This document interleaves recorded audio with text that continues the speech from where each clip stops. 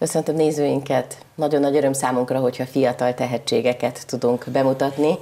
Ebben a beszélgetésben erre számíthatnak, hiszen a Soproni Perger Zsolt, aki tulajdonképpen fodrászversenyző, fodrásztanuló, nagyon szép sikert ért el a tavalyi esztendőben Helsinki-ben, a szakmák világbajnokságán, mégpedig kiválósági éremmel térhetett haza. Ez pedig jogot adott arra, hogy kvalifikálja magát a lengyelországi Euroskillen, vagyis a szakmák Európa bajnokságán, ami szeptemberben lesz. Ezzel kapcsolatban beszélgetek egyrészt eh, Perger Zsolt fodrászversenyzővel, illetőleg Veres Győri Sándor mesterfodrásztal, a felkészítővel, az egyik felkészítővel. Köszönöm szépen, hogy elfogadtátok a meghívást. Nagyon köszönjük, köszönjük a meghívást, üdvözlünk én is a nézőket. Én is. Kanyarodjunk vissza egy kicsikét még eh, a világbajnokságra leülepedett most már az ott történtek, hiszen eltelt jó pár hónap. Most miként emlékszel vissza rá? Egy nagyon, nagyon intenzív, de nagyon jó emlék. Ugye összesen kilenc napot töltöttünk kint. A szépségszakmák ugye ezt a Helsinki versenyt kicsit szétszették, ez egy ilyen special edition volt, hogy különböző városokba tartották meg. Én a szépségterapeutával, illetve a virágkötővel voltam egy helyszínen, és így nagyon, nagyon jó élmény volt ennyi kultúrával találkozni így egy helyen. És inspirációt is adott aztán a továbbiakra, hiszen most Európa bajnokságra készülsz. Persze, hát a, így a világ legjobb fiataljaival sikerült megmérettetnünk magunkat, és egyébként mindenki nagyon kedves volt, senkinek egy rossz szava se volt a másikhoz, úgyhogy... Akkor a felkészítőhöz fordulok, aki nagyon lelkes, segítő szakember. Miképpen értékelette azt, ami Helsinki-ben történt? Én részemről én meg voltam elégedve a, a Zsoltinak a produkciójával, körülbelül 30 versenyző volt, általában az eredményekben nyilván mindig többet várunk el, de az, hogy elérte a kiválósági érmet, az azt jelenti, hogy a feladatoknak a 70%-át teljesítette, 70 fölött, és büszke vagyok rá, nyilván a Lacival, a Hajas László, ő az expert, én vagyok a felkészítő, és nyilván előre nézünk az Euroskills-nek Dánszban, ami részünkre egy kis meglepetés lesz olyan szempontból, hogy nem tudjuk, hogy kik vesznek, milyen versenyzők, mert azt hozzá kell tenni, hogy egy versenyző ugye korhatár 23 év alatt, és egyszer vehet részt egy világbajnokságon és egy Európa-bajnokságon. Nyilván, ha kvalifikálja. Az első verseny azért vesz részt, mert van a szakma sztárja Magyarországon, a Hung Export volt idén, aki megnyeri, az még nem elég, lesz egy válogató a Hajas László úr szalonjával, és akkor onnan kiválasztjuk azt, aki Magyarországot képviseli. Tehát tulajdonképpen azért nagyon-nagyon kell ahhoz teljesíteni, hogy valaki eljusson egy ilyen magasrangú versenyre. Igen, és most az alkalmat itt megragadnám, hogy én nyilván itt dolgozok Sopronban, sokat járok országosan oktatni, meg Budapesten, de valahol meg szeretném köszönni, és büszke vagyok, hogy itt a Hanler Nándor iskolával együtt mi, mint külső oktatói, gyakorlati oktatók vagyunk, hogy ugye Zsolti, ő a második versenyző a Nagy Nikolett után, tehát a negyedik világversenyen veszünk részt, és én bízom benne, hogy majd a, a Dance után, az Euroskills után jövőre Lyonba tudjuk előre az időpontokat a VB-n, hogy csak bizakodunk, hogy nagy szerencse kell, hogy szintén Soproni, hogy a Handler iskolából kerüljenek ki a versenyzők. Azért járuld el nekünk titokba, hogy látsz olyan kvalitás, tehetséget, vannak. akiben ott a spiritus? Igen, vannak, vannak. Csak a, a pont a Zsoltival is beszélgettünk az interjú előtt, hogy nem elég csak az, hogy valakinek ügyes a keze, hanem kell a kitartás, tud-e önállóan dolgozni. Meg a mentális nem ott Az idegrendszere erős, és ezért minden nap felkészülni, és az, hogy magadtól megtervezni a napokat, hogy milyen feladatokat, én irányítok nyilván, de nem, nem csinálhatom meg helyetted. Tehát büszke vagyok a Zsoltival, hogy egyedül ezt úgy végig csinálja, a Niki is csinálta, és bízunk benne a jövőben találunk tehetségeket. Hát így legyen, de most egyelőre ugye minden szempára a Zsoltra szegeződik. Hol tartasz a felkészülésben, és egyáltalán hogyan zajlik a felkészülés, hiszen nekünk még azt mondjuk, hogy csak július eleje van, de ez a szeptember nagyon gyorsan itt lesz. Hát igen, én is így érzem, hogy ez a két hónap nagyon gyorsan el fog telni, főleg, hogy nagyon sok dolgot csinálok a felkészülésen belül. Ugye nem tudom, hogy milyen feladatokat kapok, így úgy veszem, hogy minden, ami, ha, hogyha hajjal foglalkozok, az felkészülés Sokat vagyok Budapesten, a Hajas Lászlónál, most két napot dolgozok, ezen kívül videoklipekben, zeneiparban is. Hát ez is egy másik fajta kihívás, ott is igazából a versenyre is egy, egy felkészülés, és akkor a maradék napot a héten meg itt töltöm Sopronban, és készülök úgy, ahogy eddig is. Persze ez gyorsan el fog telni ilyen, ilyen ütembe, de, de nagyon várom, úgyhogy jó lesz. És mi az, amit leginkább szeretsz ebben a szakmában? Mi az, amiben leginkább kiéled magadat, ami leginkább inspirál, ami miatt igazán úgy érzed, hogy ez a szakma rád talált?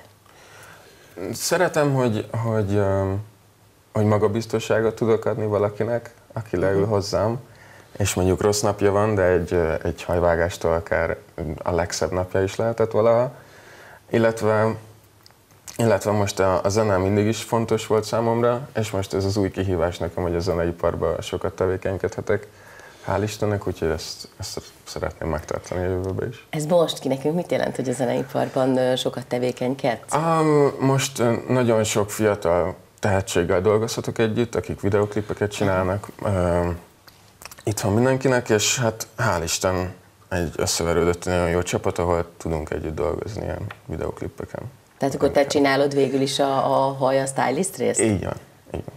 Tehát nem téged fogunk látni, mint mondjuk zenész. Nem, úgy meg nem. nem. Hát, nem. ha majd egyszer, de nem hiszem. Erre azért sok időt most nem nagyon lehet, hát nem, hogy így más nem. pályára nyergeljál. Igen. Sándor, te hogy látod, hogy mennyire halad jól a felkészüléssel, Zsolt? Én úgy gondolom tapasztalatból, hogy mivel neki a második versenye, ő már egy rutinos versenyző, tehát ővelük nem azt mondom, hogy részemről, mint felkészítő könnyebb, de, de sokkal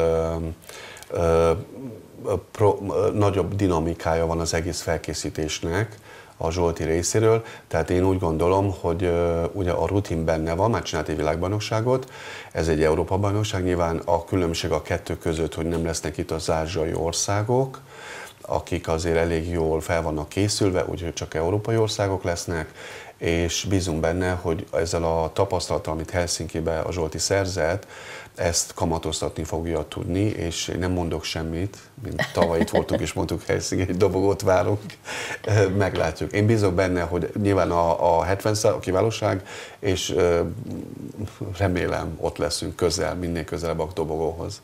És ez nagyon érdekes, hogy ezek szerint nem tudjátok, hogy idézőjelbe téve kikkel áll majd szemben, Zsolt? Tehát nem ismeritek abszolút a, a, az ellenfeleket? Hát úgy szoktuk megismerni az ellenfeleket, hogy nekem ez a negyedik világverseny, mert én is én minden két évente kapok egy megbízás a Magyar Kereskedelmi uh-huh. Kamarától, és mivel voltam az előző versenyen, ott felismerem azokat a versenyzőket, akik már voltak az előző, mindenki tudom, hogy kettőt mehet, és most van egy nagy váltás, tehát valószínűleg most a Zsolti talán, ő talán a spanyol-portugál, ha jól emlékszem, a port, akkor a spanyol talán ő, aki kettő duplázik, mint a Zsolti. Uh-huh. És akik dupláznak, ugye ők a rutinosabbak. Uh-huh. Aki viszont először megy, általában több a hiba lehetőség, de nem lehet tudni. És ez a rutinosság mit is jelent tulajdonképpen a gyakorlatban egy versenyen, Zsolt? Tehát mi az, ami, amiben úgy érzed, hogy voltál már világbajnokságom, és egy kicsit tanultál talán, ezt most lehet, hogy furán fogalmazom, a saját hibáidból, de most nem fogsz belelépni ugyanabba a folyóba szeptemberben. Hát eleve az, hogy ott voltunk ezen, már egy olyan, olyan rutint adott, hogy tudom, hogy mire számítsak. Ja, Helsinki-be úgy mentünk, hogy hiába láttam a Nikit versenyezni, azért kint állni a pástról és bent állni, teljesen más érzés. Hiába voltam mondjuk időben mindig, mindig jó, és mindig uh, tudtam tartani, azért ezután most már máshogy gondolok rá, hogy máshogy fogom átgondolni, mondjuk előző nap este az egész három napot, hogy ezt hogy, hogy tudnám a legeffektívebben felépíteni onnan bentről. Tehát jól gondolom azt, Sándor, hogy itt nagyon-nagyon fontos, hogy tényleg, amit mondtam, hogy mentálisan fejben ezt az egészet, hogy éli meg a versenyző, mert hogy a, a tudás az ott van a kezében, a kreativitás ott van a kezében, hihetetlenül tehetséges, ügyes, de mégis, hogy, hogy ő ezt hogy éli meg ezt a versenyt? Én, én, én mindig azt szoktam nekik is mondani, hogy azt, amit ő a gyakorlati itt bent a, a, az oktatóban csinálja, ő egy versenyen örülünk, ha azt a 70-80 százalékát uh-huh. tudja hozni, mert a druk, de elmondanám, hogy Helsinki-ben a Zsolti a fölött teljesített.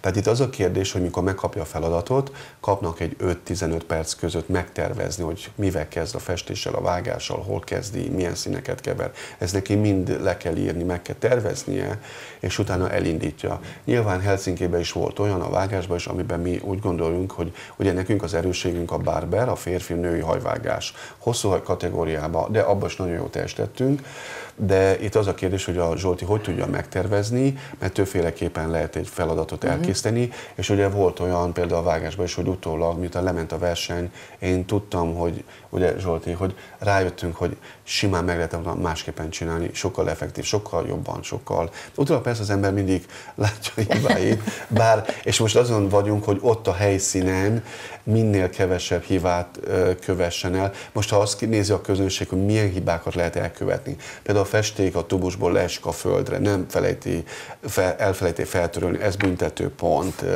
Nem takarítja el a hajmosott állat a, a lemosás uh-huh. után. Fel kell tenni a kezét, ha lemosta a, festést. Megnézik, hogy mosta le. Tehát minden feladatnál mindent ott állnak mellettem, mennyit mérleg gramra, ha 10 grammal többet marad a tálba, büntetőpont, mert pazarol.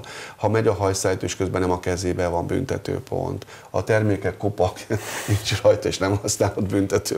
Már tehát nem, nem is csak a, az ember. Igen, tehát nagyon sok technikai büntetőpontot lehet összeszedni, mert most Helsinki-ben pont az van, hogy nullától háromig pontoznak, és nekünk az overall look, tehát a végeremű mindig 2-3-as volt, tehát ugye ez egy dobogós eredmény, de ugye a büntetőpontokat azt könnyen lehet szedni, mi nem láttuk őket, de hát akkor De... erre kell nagyon figyelni Igen. esetleg. Igen. Jó, hát a beszélgetés végén én most azt mondom, hogy nem mondjunk semmit, hogy, hogy, hogy, hogy, hogy mit vársz, mert akkor annál nagyobb lesz majd a meglepetés. Szeptember után akkor vállalt titeket ide a stúdióba, és akkor beszélgetünk, hogy milyen izgalmak történtek Lengyelországban, és addig is kitartást kívánok a felkészüléshez. Nagyon szépen köszönjük. Köszönjük, köszönjük szépen. Köszönöm.